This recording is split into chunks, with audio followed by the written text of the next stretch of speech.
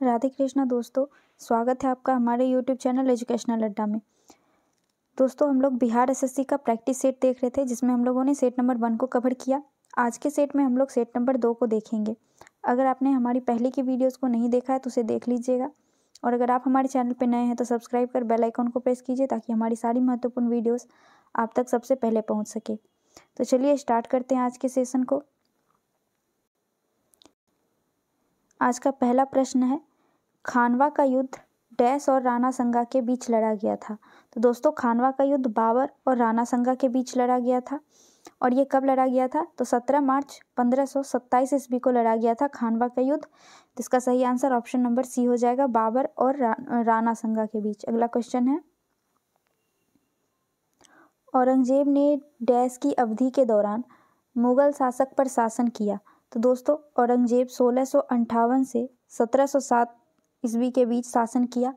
औरंगज़ेब ने अपना राज्याभिषेक दो बार करवाया था। पहली बार करवाया था सोलह सौ अंठावन में और दूसरी बार सोलह सौ उनसठ में। इसका सही आंसर ऑप्शन नंबर सी हो जाएगा, सोलह सौ अंठावन से सत्रह सौ सात ईस्वी। अगला क्वेश्चन है। यूएस यानी यूनाइटेड स्टेट का राष्ट्रीय खेल कौन सा है? दोस्तों, बेसबॉल यूनाइटेड स्टेट का राष्ट्रीय खेल है। इसका सही आंसर ऑप्शन नंबर बी हो जाएगा। अगला क्वेश्चन है। भारतीय संविधान के निम्नलिखित अनुच्छेद में से कौन सा राष्ट्रीय अनुसूचित जाति से संबंधित है? इसका सही आंसर हो जाएगा ऑप्शन नंबर डी, अनुच्छेद 338 जबकि 338 के ए में अनुसूचित जनजाति का वर्णन दिया गया है। संबंधित पूछे तो 338 लेकिन अगर वर्णन पूछे अनुसूचित जाति आयोग का तो उसका वर्णन 338 के ए में दिया हुआ है। अगला क्वेश्चन है। भारत की आकस्मिकता निधि का संरक्षक कौन होता है? तो दोस्तों, राष्ट्रपति होता है, भारत का आकस्मिक निधि का संरक्षण, इसका सही आंसर ऑप्शन नंबर बी हो जाएगा। अगला क्वेश्चन है। भारतीय राष्ट्रीय कांग्रेस का लाहौर अधिवेशन कब आयोजित किया गया था? जहाँ बैठक में उपस्थित सभी ने 26 जनवरी को स्वतंत्रता दिवस के रूप में मनाने का संकल्प लिया। तो दोस्तों, लाहौर अधिवेशन 31 दिसंबर उन्नीस ईस्वी को हुआ था और इसकी अध्यक्षता जवाहरलाल नेहरू के द्वारा किया गया था। तो इसका सही आंसर क्या हो जाएगा? ऑप्शन नंबर बी हो जाएगा। 31 दिसंबर उन्नीस को लाहौर अधिवेशन हुआ था। अगला क्वेश्चन है। जिन्होंने भारत में लोगों, यानी एक आर्थिक योजना की योजना तैयार की थी, वो कौन थे? तो दोस्तों, इसका सही आंसर हो जाएगा option number A, M N Roy. M N Roy के द्वारा जन योजना आयोग की भी स्थापना की गई थी और ये 1938 ईस्वी में की गई थी। अगला क्वेश्चन है। संयुक्त राष्ट्र द्वारा पर्यावरण एवं विकास पर रियो घोषणा को मंजूरी किस वर्ष में दी गई थी? तो दोस्तों, रियो घोषणा को मंजूरी उन्नीस सौ बानवे ईस्वी में दिया गया था। इसका सही आंसर ऑप्शन नंबर ए हो जाएगा। आपको बता दें दोस्तों, राष्ट्र, संयुक्त राष्ट्र जो है, इसका गठन उन्नीस सौ पैंतालीस ईस्वी में किया गया था और इसका हेडक्वार्टर की बात करें तो न्यूयॉर्क में स्थित है संयुक्त राष्ट्र का हेडक्वार्टर अगला क्वेश्चन है यूएन पर्यावरणीय गतिविधियों का समन्वयन करने वाला अंतर्राष्ट्रीय संगठन कौन सा है? तो दोस्तों, यूएन पर्यावरणीय गतिविधियों का समन्वयन करने वाला संगठन संयुक्त राष्ट्र पर्यावरण कार्यक्रम है। इसका सही आंसर ऑप्शन नंबर डी हो जाएगा। अगला क्वेश्चन है। भारत के पूर्वी तट में ज़्यादातर किस प्रकार की मिट्टी पाई जाती है? दोस्तों, भारत के पूर्वी तट में ज़्यादातर जलोढ़ मिट्टी पाई जाती है। इसका सही आंसर ऑप्शन नंबर बी हो जाएगा, जलोढ़ मिट्टी। जलोढ़ मिट्टी दो प्रकार की होती है, एक होता है बांगर और एक होता है खादर। बांगर पुरानी जलोढ़ होती है और खादर नई जलोढ़ मिट्टी होती है। अगला क्वेश्चन है। बाड़ी दोआब डैश के बीच का क्षेत्र है। तो दोस्तों, पहले आपको दोआब के बारे में थोड़ा बता दें। आपका मतलब पानी होता है। यानी कि दो नदियों के बीच का जो जगह होता है, जो भूमि होता है उस भूमि को दोआब कहते हैं। तो बाड़ी दोआब, ब्यास और रावी नदी के बीच स्थित है। इसका सही आंसर हो जाएगा ऑप्शन नंबर बी। अगला क्वेश्चन है, कोलकाता बंदरगाह किस नदी पर स्थित है? दोस्तों, कोलकाता बंदरगाह हुगली नदी पर स्थित है। इसका सही आंसर ऑप्शन नंबर ए हो जाएगा। अगला क्वेश्चन है,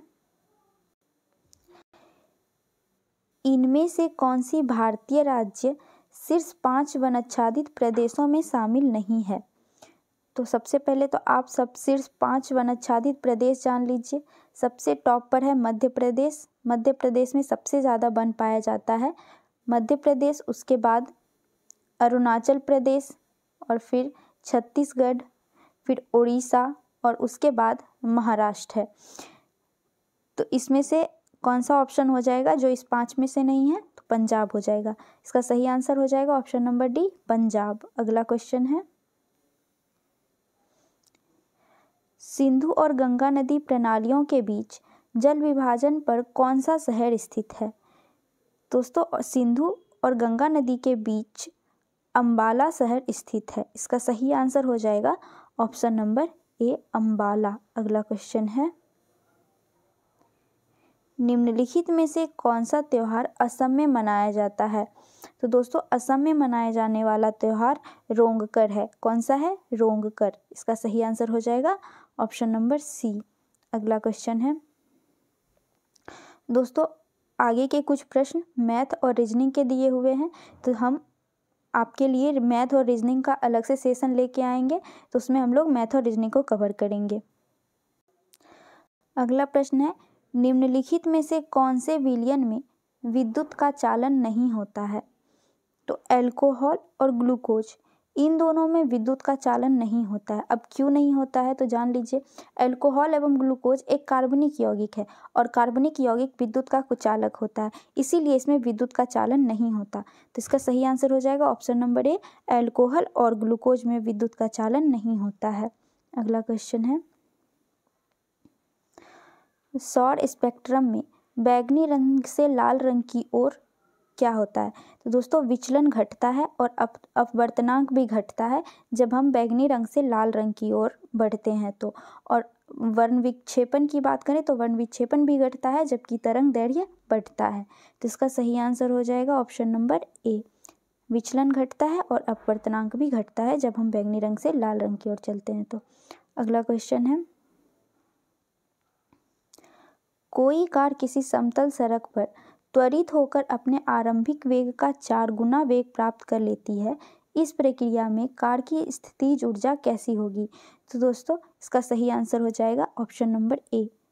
परिवर्तित नहीं होगी, क्योंकि वेग बढ़ने से गतिज ऊर्जा बढ़ती है, ना कि स्थिति ऊर्जा। इसलिए स्थिति ऊर्जा परिवर्तित नहीं होगी। अगला क्वेश्चन है। दो ओम तथा चार ओम प्रतिरोध के दो प्रतिरोधकों को किसी बैटरी से संयोजित करने पर यदि ये प्रतिरोधकता तो इसका सही आंसर होगा ऑप्शन नंबर बी श्रेणी क्रम में संयोजित हो तो इसमें समान धाराएँ प्रवाहित होगी। अगला क्वेश्चन है। ब्रॉडबैंड एक उच्च क्षमता संचारण प्रौद्योगिकी का उपयोग किस कारण कर रही है?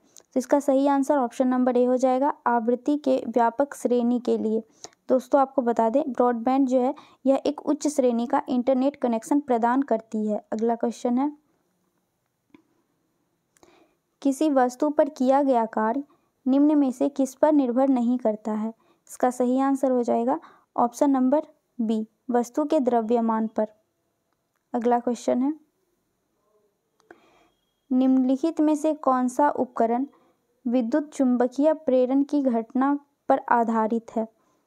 इसका सही आंसर ऑप्शन नंबर डी हो जाएगा, जनरेटर। अगला क्वेश्चन है।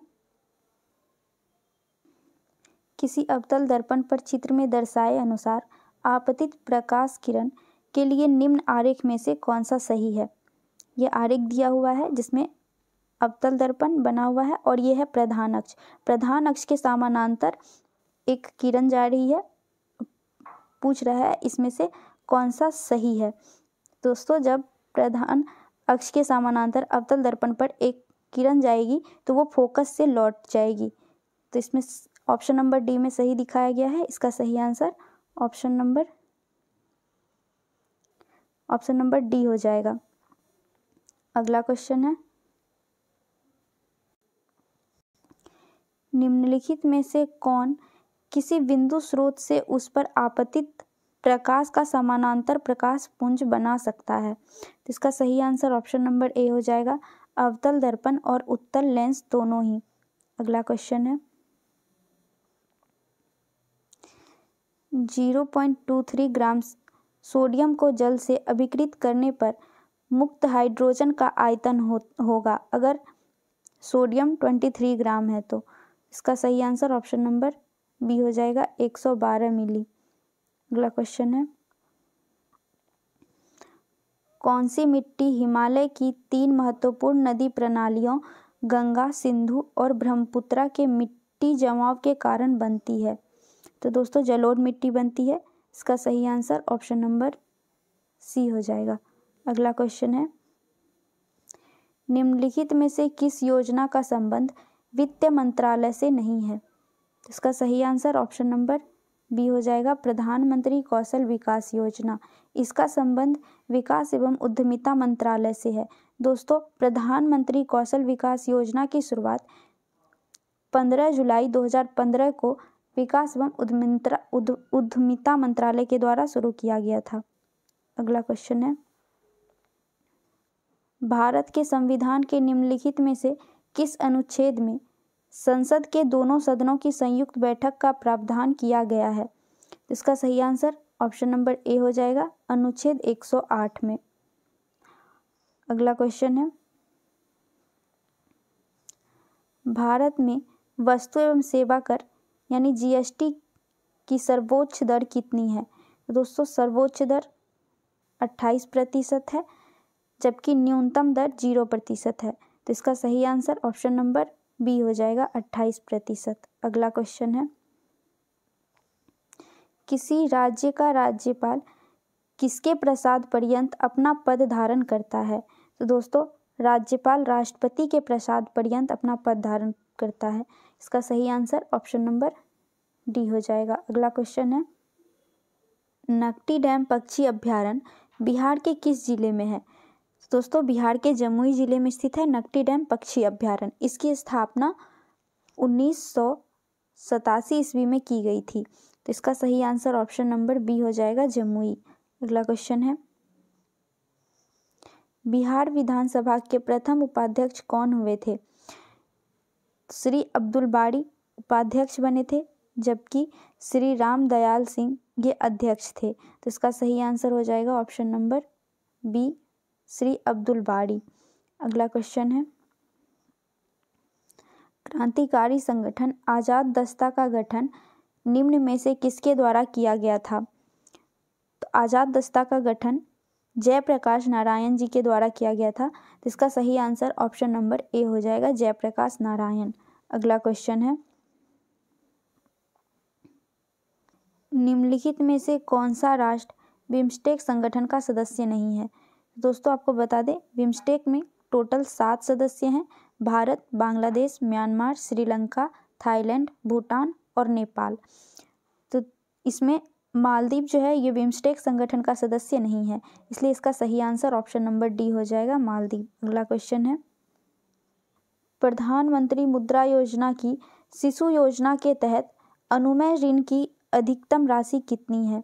इसका सही आंसर ऑप्शन नंबर बी हो जाएगा, पचास हज़ार। अगला क्वेश्चन है। देश के सर्वोच्च नागरिक पुरस्कार, पद्म पुरस्कार की शुरुआत निम्नलिखित में से किस वर्ष में की गई थी? इसका सही आंसर ऑप्शन नंबर सी हो जाएगा। उन्नीस सौ चौवन ईस्वी में पद्म पुरस्कार की शुरुआत की गई थी। और आपको बता दें दोस्तों 1955 ईस्वी में पद्म पुरस्कार को पद्म विभूषण, पद्म भूषण और पद्मश्री में बदल दिया गया था। अगला क्वेश्चन है। निम्नलिखित में से किसने इन कस्टडी उपन्यास लिखी है? इसका सही आंसर हो जाएगा option number D. Anita Desai के द्वारा इन कस्टडी नामक उपन्यास लिखा गया है। अगला क्वेश्चन है। प्रख्यात संगीतकार अरविंद पारीख निम्नलिखित में से किस वाद्ययंत्र से संबंधित है? दोस्तों, अरविंद पारीख सितार से संबंधित है। इसका सही आंसर ऑप्शन नंबर ए हो जाएगा। अगला क्वेश्चन है, निम्नलिखित में से किस राजवंश के शासनकाल को भारतीय इतिहास का स्वर्णकाल कहा जाता है? तो गुप्त काल को भारतीय इतिहास का स्वर्णकाल कहा जाता है। इसका सही आंसर ऑप्शन नंबर सी हो जाएगा। दोस्तों, गुप्त काल के समय कला एवं साहित्य में हुई प्रगति की वजह से इसे प्राचीन भारत का स्वर्णकाल कहा जाता है। अगला क्वेश्चन है। वित्त विधेयक को प्रस्तुत करने के कितने दिनों के भीतर संसद द्वारा पारित किया जाना होता है? तो दोस्तों वित्तीय विधेयक प्रस्तुत करने के पचहत्तर दिन बाद ही सांसद द्वारा पारित किया जाना होता है। इसका सही आंसर ऑप्शन नंबर ए हो जाएगा पचहत्तर। अगला क्वेश्चन है। 2011 की जनगणना के अनुसार भारत की साक्षरता दर कितनी है?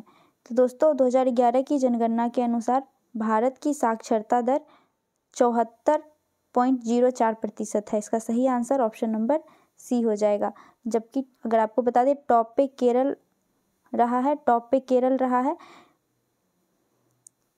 तिरानवे दशमलव नौ एक प्रतिशत के साथ और सबसे लास्ट पर बिहार रहा है, इकसठ दशमलव आठ प्रतिशत के साथ। अगला क्वेश्चन है। कृष्णराज सागर बाँध को किस नदी पर बनाया गया है? जिसका सही आंसर ऑप्शन नंबर ए हो जाएगा, कावेरी नदी पर बनाया गया है कृष्ण सागर बाँध को। अगला क्वेश्चन है। लाइफ ऑफ़ पाई नामक उपन्यास के लेखक या लेखिका निम्नलिखित में से कौन है? इसका सही आंसर ऑप्शन नंबर डी हो जाएगा, यान मार्टेल।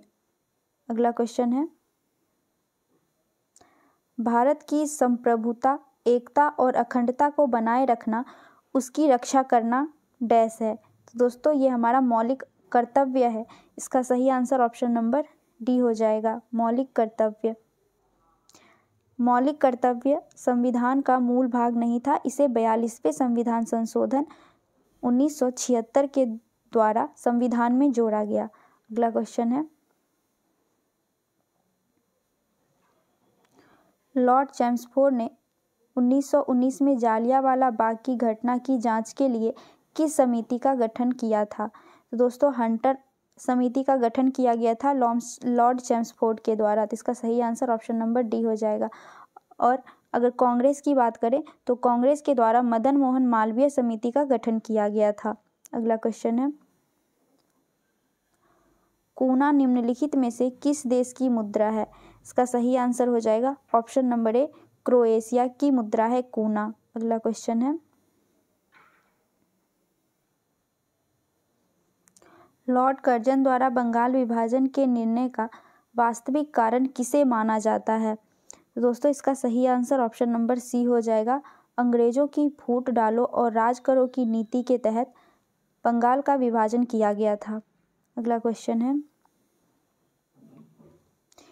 इनमें से कौन सा जलडमरू मध्य रूस और संयुक्त राज्य अमेरिका के एक राज्य के बीच स्थित है। इसका सही आंसर ऑप्शन नंबर डी हो जाएगा, बेरिंग जल डमरू बेरिंग जल डमरू संयुक्त राज्य अमेरिका का शहर अलास्का एवं रसिया के बीच स्थित है। अगला क्वेश्चन है। द्वीप समूह टियरा डेल फुएगो किस महाद्वीप में स्थित है? तो दोस्तों, ये दक्षिणी अमेरिका में स्थित है टियरा डेल फुएगो। तो इसका सही आंसर ऑप्शन नंबर सी हो जाएगा, दक्षिण अमेरिका। अगला क्वेश्चन है। अफ्रीकी देश घाना की राजधानी कहाँ है? दोस्तों, अफ्रीकी देश घाना की राजधानी अक्रा है। इसका सही आंसर ऑप्शन नंबर बी हो जाएगा अक्रा। अगला क्वेश्चन है, मंगोलिया देश निम्नलिखित में से किस महाद्वीप में स्थित है? तो ये एशिया में स्थित है, मंगोलिया देश। इसका सही आंसर ऑप्शन नंबर सी हो जाएगा। दोस्तों, मंगोलिया देश चीन के साथ सबसे लंबी सीमा साझा करने वाला देश है। अगला क्वेश्चन है। बिहार पंचायत राज अधिनियम कब पारित किया गया था? इसका सही आंसर ऑप्शन नंबर डी हो जाएगा। 2006 में पारित किया गया था बिहार पंचायत राज अधिनियम। अगला क्वेश्चन है। काम के बदले अनाज कार्यक्रम किस पंचवर्षीय योजना में प्रारंभ किया गया था? तो ये पांचवी पंचवर्षीय योजना में प्रारंभ किया गया था, काम के बदले अनाज। दोस्तों पांचवी पंचवर्षीय योजना की थीम थी गरीबी उन्मूलन। तो इसका सही आंसर ऑप्शन नंबर बी हो जाएगा। अगला क्वेश्चन है। अखिल भारतीय बाघ अनुमान 2022 नामक रिपोर्ट के अनुसार सर्वाधिक बाघों की संख्या वाला राज्य कौन सा बना? तो सबसे ज़्यादा बाघों की संख्या वाला राज्य मध्य प्रदेश बना। मध्य प्रदेश में टोटल सात सौ पचासी बाघ हैं। इसका सही आंसर ऑप्शन नंबर सी हो जाएगा। अगला क्वेश्चन है। आईसीसी पुरुष एक दिवसीय क्रिकेट विश्व कप 2023 की मेजबानी कौन सा देश करेगा? जिसका सही आंसर ऑप्शन नंबर ए हो जाएगा, भारत। अगला क्वेश्चन है। बिहारी पुरस्कार किस क्षेत्र से संबंधित है? तो दोस्तों, बिहारी पुरस्कार साहित्य से संबंधित है और बिहारी पुरस्कार को के के बिरला फाउंडेशन के द्वारा शुरू किया गया था। अगला क्वेश्चन है। कौन सा राज्य महिला एशियाई चैंपियनशिप ट्रॉफी 2023 की मेजबानी करने के लिए तैयार है इसका सही आंसर ऑप्शन नंबर ए हो जाएगा झारखंड। अगला क्वेश्चन है। सात्विक साईराज, रंकी रेड्डी और चिराग शेट्टी किस खेल से संबंधित है? तो दोस्तों, ये बैडमिंटन से संबंधित है सात्विक साईराज और चिराग शेट्टी। तो इसका सही आंसर ऑप्शन नंबर ए हो जाएगा बैडमिंटन। अगला क्वेश्चन है। विश्व खुशहाली रिपोर्ट 2023 में भारत का स्थान क्या था? तो विश्व खुशहाली रिपोर्ट 2023 में भारत का स्थान एक सौ था। इसका सही आंसर ऑप्शन नंबर डी हो जाएगा एक सौ अगला क्वेश्चन है।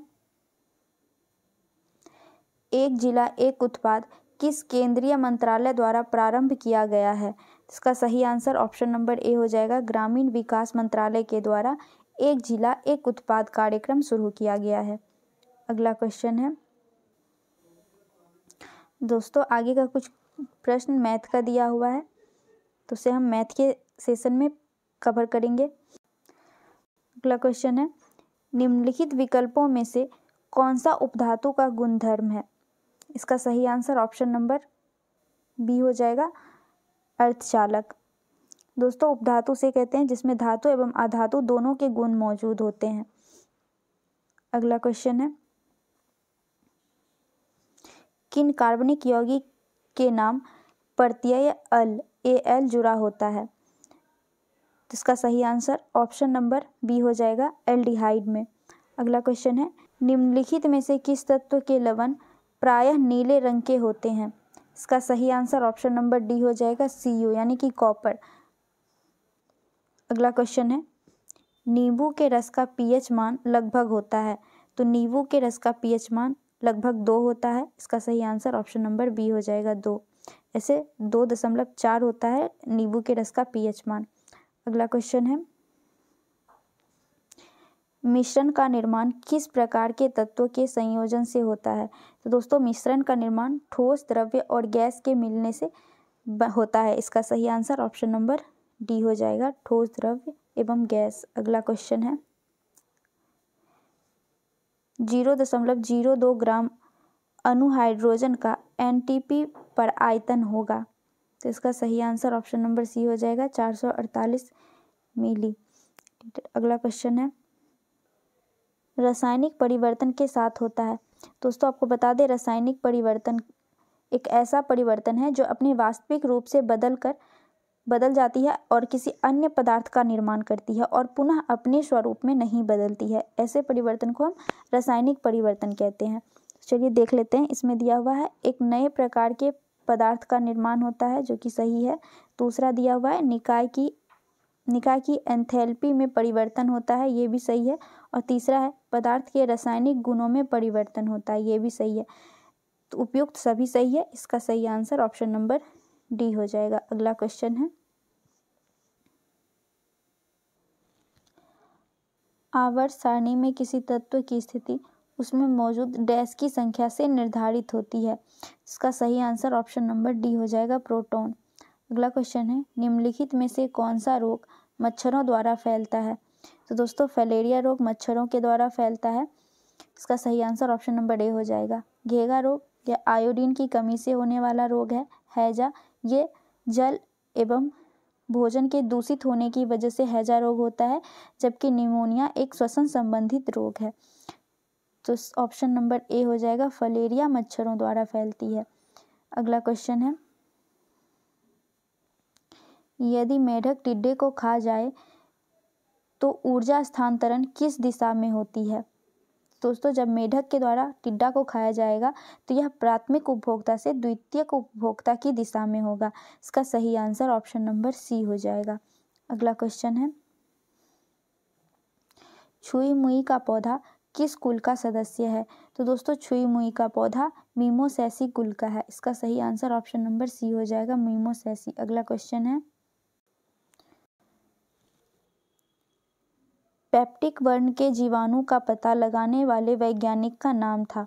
दोस्तों, पेप्टिक वर्ण, जिसे हम पेप्टिक अल्सर भी कहते हैं, इसका पता लगाने वाले वैज्ञानिक रॉबिन वॉरेन एवं बेरी मार्शल थे। तो इसका सही आंसर ऑप्शन नंबर डी हो जाएगा। ए और बी दोनों। अगला क्वेश्चन है। किसी परितंत्र में अपघटक तो दोस्तों, किसी परितंत्र में अपघटक जैव पदार्थ को अकार्बनिक रूप में बदल देता है। इसका सही आंसर ऑप्शन नंबर बी हो जाएगा। अगला क्वेश्चन है। केव रोग का दूसरा नाम है। तो इसका सही आंसर ऑप्शन नंबर डी हो जाएगा। Reticuloendotheliosis. अगला क्वेश्चन है। हेपेटाइटिस ई के विषाणु किसके द्वारा स्थानांतरित होता है? दोस्तों, हेपेटाइटिस ई के विषाणु दूषित जल के द्वारा स्थानांतरित होता है। इसका सही आंसर ऑप्शन नंबर बी हो जाएगा। आगे के क्वेश्चंस रीजनिंग के दिए हुए हैं, जिसे हम लोग रीजनिंग के सेशन में कवर करेंगे दोस्तों। अगर आप हमारे चैनल पर नए हैं तो सब्सक्राइब कर लीजिएगा, अपने दोस्तों से शेयर कीजिएगा। मिलते हैं नेक्स्ट वीडियो में। जय हिंद।